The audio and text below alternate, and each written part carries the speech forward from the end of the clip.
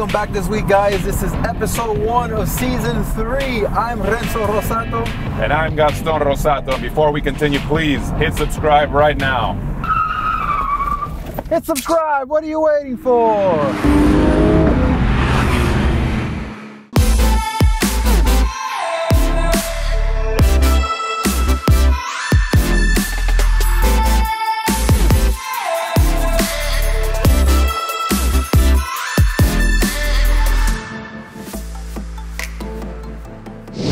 Follow us on Instagram and join us on the ride for this new piece of inventory the 1969 Alfa Romeo GTV 1750. The missing link to our previous video that's seen on season one. If you haven't seen it, go back and check it out. That's right. I knew it was only a matter of time until this car came in. We finally have it. So although we already had the GTV review, I thought it was very important that we showcase this car, given the fact that it was missing at the time of our original review.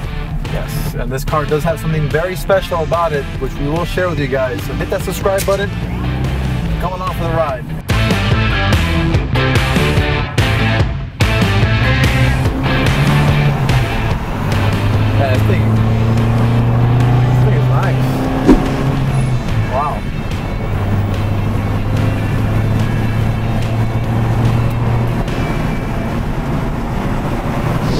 Take the time to thank you guys. We've had people show up already to our business just to come say hello and meet us all through YouTube, guys. So, Yeah, that, I was, mean, that was really cool, man. the expectation has has been much greater than we ever thought when we first started this just a few months ago. Yeah. We have a lot to grow, so please don't forget to hit subscribe. But in the meantime, it's been absolutely phenomenal, so thank you. The shifting position on this car is absolutely perfect. I'm actually a big fan of the dash too, these big round dials, Yeah. very clear. It's really the happy middle of all the GTVs.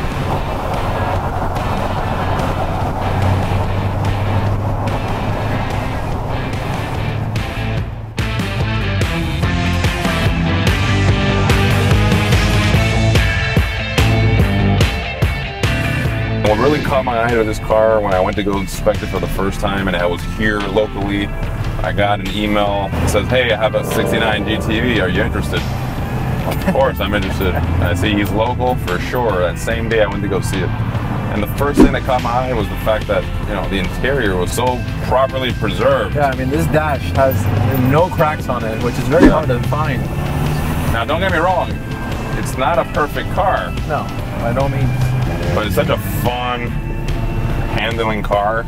Yes, it doesn't have a lot of power, but it has just enough power to really go through the whole power band.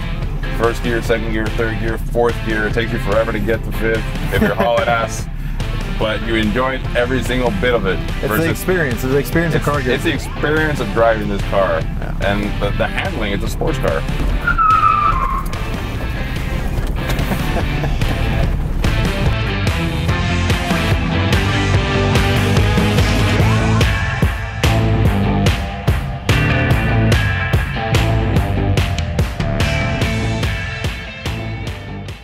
Gaston, what a beautiful car, man. So let's talk about the features of the 69. like I said, this is the happy middle from a design standpoint and a mechanical standpoint. First year of the quad headlights versus single headlights or the step nose. The tail lights still are the smaller version, which is the more popular or more sought after version. It's kind of like that transition of new but still old in the front, and that's what makes this car always so desirable because it has that. Plus, it has the upgraded 1750 motor, which is not the biggest, like the two liter, or the smallest, like the 1600 or even 1300 for the junior cars. This year, they're all called GTVs. You know, quadrifoglio badging right here on the C pillar. Very unique interior. You can spot it out that it's a 68 or a 69 immediately. Just because those kind of seats you have in there. Just because of the seats. Now, what was the name of the six- seats again? The flying buttress. Fine buttress. Fine buttress. Bu- Fine buttress.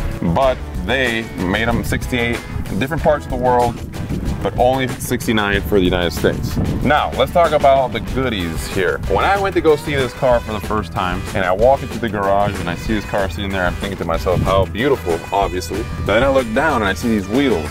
Most people, if you don't know, you probably think to yourself, Well, it's got a you know Yeah. bad finish. You told me these wheels are special. I looked at it and I go, the paint job or the way it's finished looks pretty bad to me.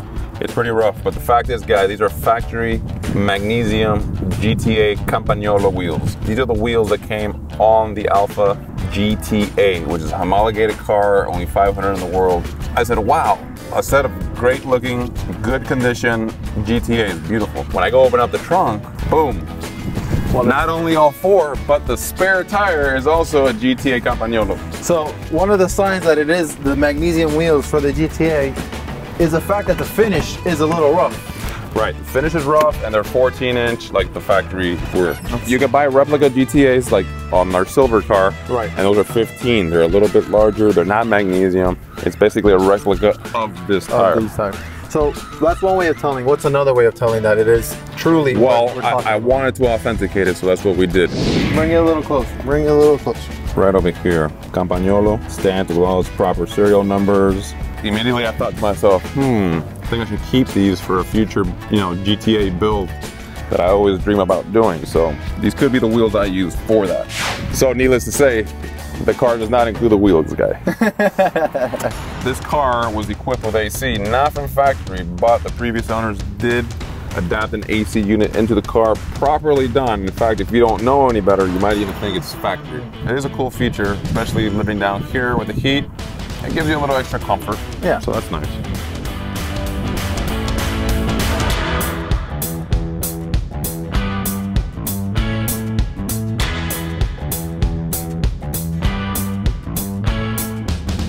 That about wraps it up for this video, guys. We want to thank you again for watching. We love this car. We love the fact that it came with the wheels. It gives me now something to start off for my project car. And I'm glad we filled in that missing link from the video from our first season. If you haven't seen it, go back and check it out. That's right, guys. So please, I want to remind you one more time to hit subscribe. Follow us on Instagram right here, Gaston Rossato. And you can follow me at Renzo Rossato. We're here every Tuesday for you guys, and we'll see you next week. Thank you, guys. Peace Later. out.